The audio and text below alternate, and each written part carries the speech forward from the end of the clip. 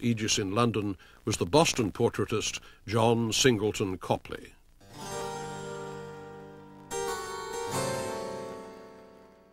Copley was Boston Irish and born poor.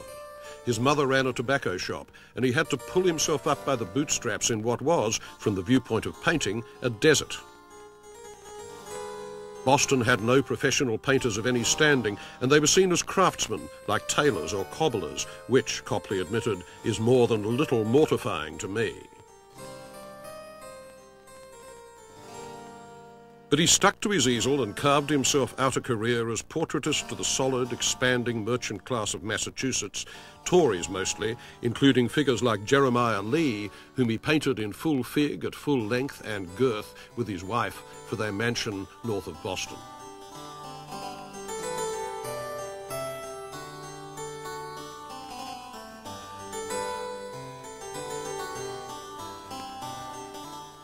Copley's career really begins with this little portrait of his half-brother called Boy with the Squirrel.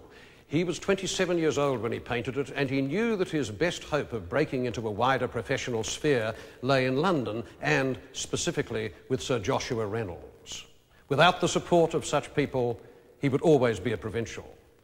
But with their support, he could go anywhere.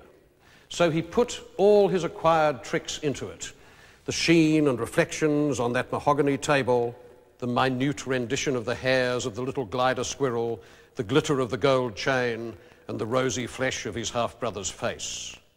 He sent the canvas off to Reynolds in London, and after an agonising wait of several months, word came back that the great man approved. Something really new, it seemed, had come out of the American.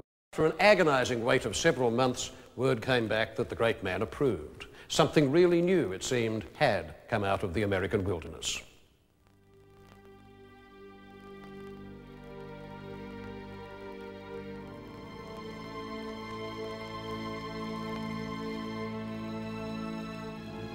But Copley was a timid man, and he didn't get to London for another nine years. Business in Boston was too good. He married into a rich Tory family, but his subjects weren't all Tories. Some of them were figures in the coming revolution, like Paul Revere, the silversmith, who was one of the leading dissenters in Boston. Copley's portrait of Revere is a manifesto of democratic American pride in skilled work, the radical as craftsman. No finery here, he sits in his shirt sleeves, thinking, confronting you.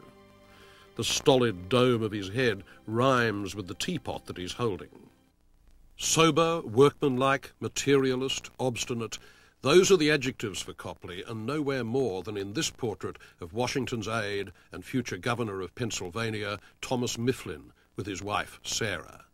Very plain, the only note of bright colour being a little flower on Sarah Mifflin's bodice. This is marriage seen as enlightened equality. Conventional 18th century portraiture had the wife looking admiringly at her husband. Here it's reversed.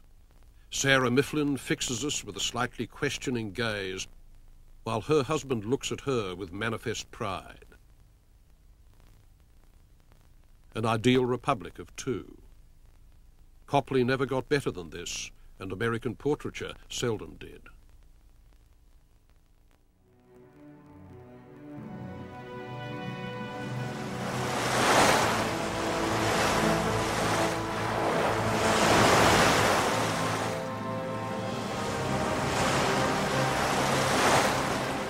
In 1778, Copley poured the lessons of Rome and London into a history painting in the grand manner. Except it was an odd kind of history painting because it wasn't about an important public event.